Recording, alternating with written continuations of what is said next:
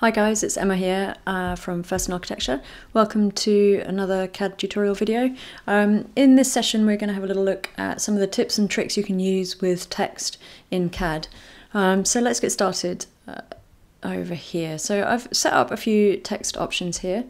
Um, the first thing we're going to look at just briefly uh, is the difference between single text and multi-line text.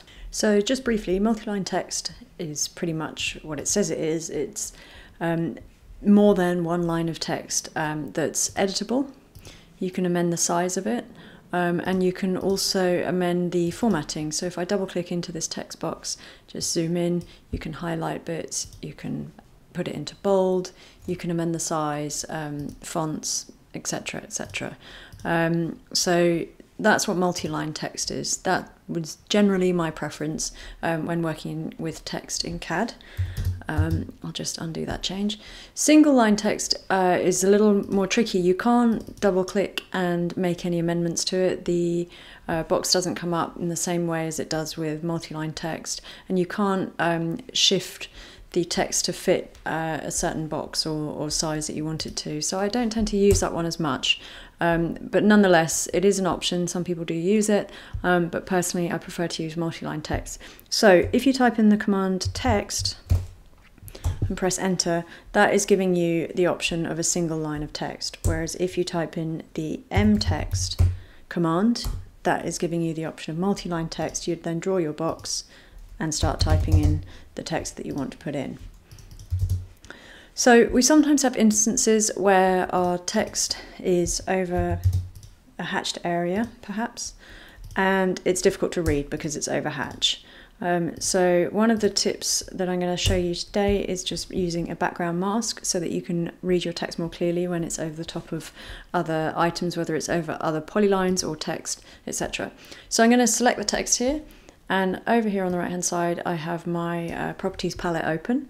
I'm going to scroll down my properties palette until I get to the text section and there's this option here of a background mask. I'm going to click on that and it brings up a little box.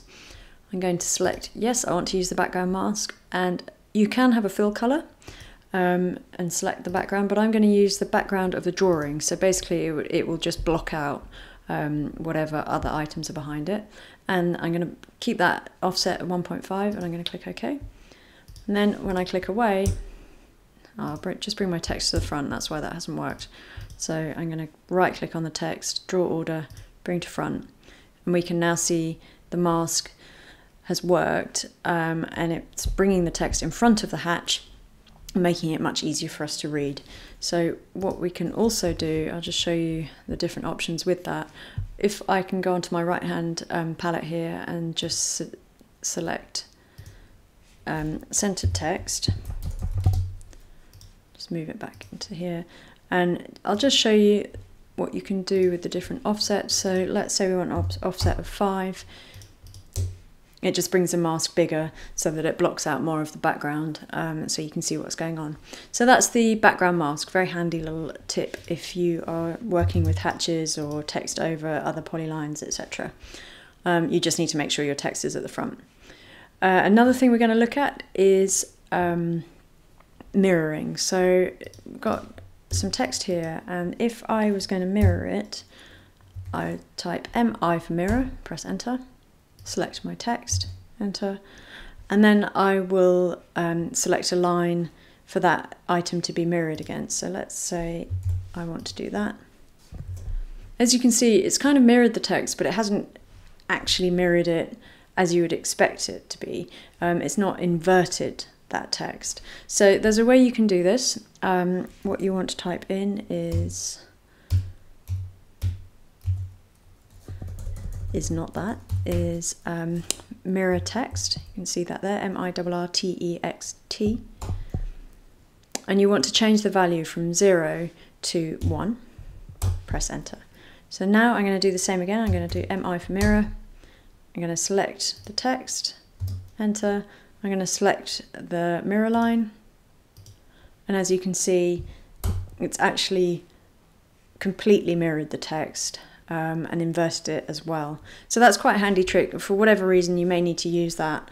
Um, and if you then wanted to go back to the this way of mirroring, you just write type in again um, mirr text and change that value back to zero, and you'll go back to um, the other way of mirroring, which I'll just quickly show you. There. So quite useful. You can completely mirror your text if you want to. So that's that. Another one that's very useful is um, converting single line text into multi-line. Um, this I have used in the past where I've inherited a drawing from someone else who's used, used single line text um, or maybe a survey drawing and for whatever reason I'm wanting to turn that into multi-line text so I can adjust the text box. Um, really simple thing to do. Um, all you type in is text txt to and then usually it'll come up with suggestion anyway. Um, so it's text to mtext. I'm going to press enter and I'm going to select my single line text and press enter. And now when I select it, you can see it's got the grip points of a multi-line and I can change the size of that just like you can with a multi-line text. Now, if you want to do it the other way and change multi-line text into single text, you can select it and press X for explode and that's now been converted into three single lines of text. If I had left it um, in one line as it was, and then clicked explode, X for explode, it's just converted it into one single line text. Next thing is aligning text. This can be quite useful if you want to, um, if you're say annotating a drawing and you want text to be aligned with an item or a wall or an object or whatever. Um, so what you can do here is select your text, press AL for align. You can then select the base point, first base point, and I'm going to select that corner there.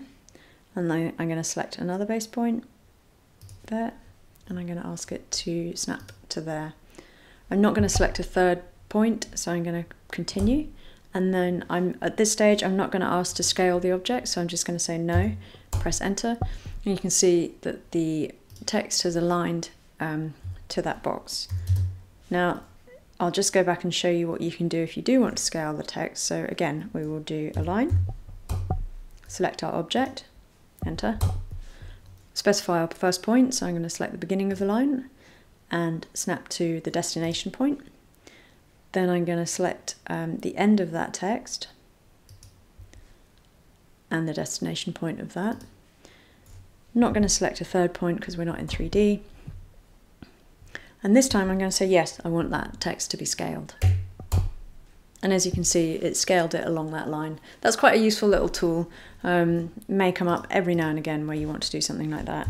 Um, but it's super fast and it saves you rotating and things like that. You can just align it straight to it. Obviously, you can do that with lines and polylines and geometry generally, um, but some people aren't aware that you can do it with text too. So that's pretty cool. Um, another align feature, uh, which is which is quite useful, may not have come across it before, is the um, text align tool as opposed to just the align tool.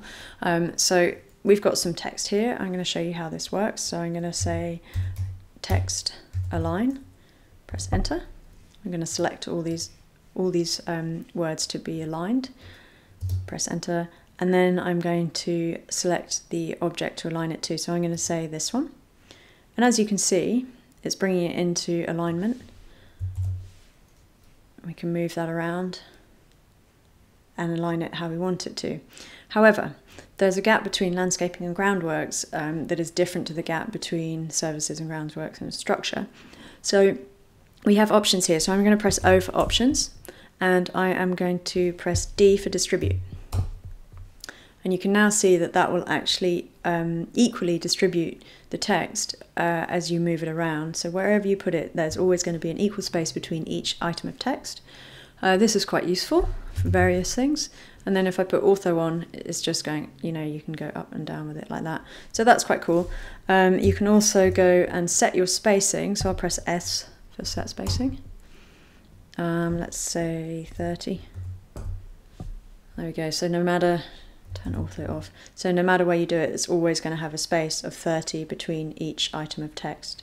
So again, really useful little tool for aligning your text um, as you as you want or need when you're working with text all over the place. And as you can see, with when it's all spread out like this, it's just a really instead of trying to line it all up manually like this and then trying to figure out the spaces between everything, it's really useful to just use the text align tool to get that to do the hard work for you. So I'll just show you once more. Text, align, select all the text you want lined up, enter, I'm going to select the groundworks and I am going to want to distribute it accordingly. So I'm going to press O for options and D for distribute. Going to turn ortho on so that it's nice and straight and that's that. Last thing to show you um, is bringing your text to the front. So I've brought in a detail here that I'm working on for one of my latest um, books Understanding Architectural Details. This is um, for the third edition. Um, we've got a SIPS detail here. As you can see, some of the text is sort of getting lost in amongst the hatch here. This text has actually got a, a background mask, but it's not showing because it's it's not um, at the front. Likewise, this one here. And then if we zoom in on this um, dimension here, you can see that the leaders and some of the hatch is sort of sitting on top of this dimension. So again, it's not very clear.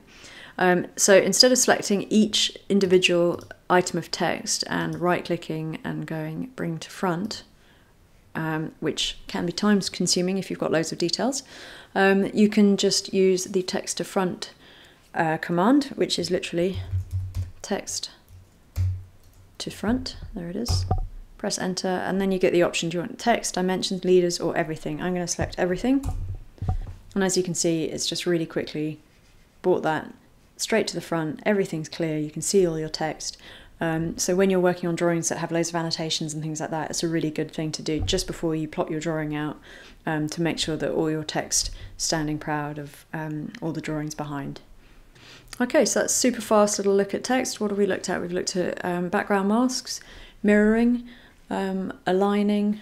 We've looked at um, text to M text and exploding uh, single lines and we've looked at um, the text align tool as well and then the text to front uh, command as well. So I hope you find those useful. You may come across a situation where you need to use one of those. Um, thanks for watching the video. If you've got anything that you'd like me to do a quick tutorial on, then please do let me know. Um, in the meantime, subscribe to my channel. There's loads more videos coming soon. Um, and until next time, thanks for watching.